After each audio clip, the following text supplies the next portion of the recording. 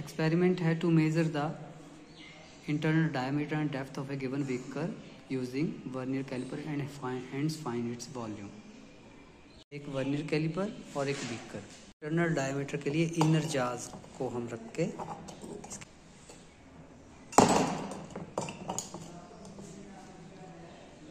ये तो ये रीडिंग हम नोट कर लेंगे. इंटरनल डायमीटर के लिए रीडिंग नोट करने का तरीका वही है। 4.8 और vernier vernier reading जो ऊपर सीधी कॉन्साइड कर रही है, वो करीब की वन है। वन ईयर वन है तो इसको लिस्ट काउंट से मल्टीप्लाई कर दिया। Point zero one four point eight one क्योंकि करेक्शन वन ईयर का ज़ीरो और मेन का ज़ीरो कॉन्साइड कर रहे हैं, इसलिए ज़ीरो एरर इसमें ज़ीरो ही है। Four point eight one. थोड़ी सी लोकेशन चेंज करने के बाद फिर से डायमीटर नोट करेंगे। तब की बार diameter four point seven show कर रहा है और जो वन ईयर रीडिंग ऊपर कौन साइड कर रही है वो है टू फोर पॉइंट सेवन और टू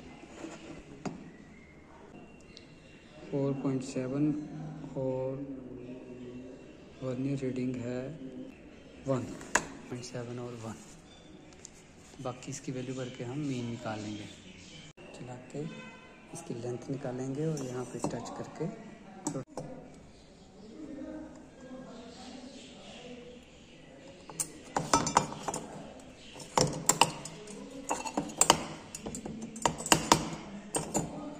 तो ये जो भी रीडिंग होगी,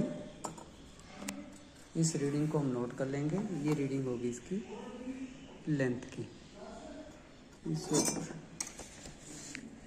ये रीडिंग है 7.4 और जो मेन स्केल वर्नियर स्केल की रीडिंग कौन साइड कर रही है वो है फाइव 7.4 और ये five the same way it is it comes up to point zero five and this is seven point zero five इसकी पोजीशन चेंज करके फिर से डेप्थ नोट करेंगे सेकंड रीडिंग और एक रीडिंग यहाँ पे साइड में ले लेंगे।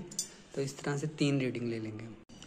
मीन जो इसकी, इसका diameter four point mean diameter four point seven eight और ये इसकी जो डेप्थ है, उसका मीन हमने कैलकुलेट किया है, ये है सेवन पॉइंट फिफ्टी टू अब वॉल्यूम कैलकुलेट करना है तो ये फार्मूले में हम वैल्यू भर देंगे।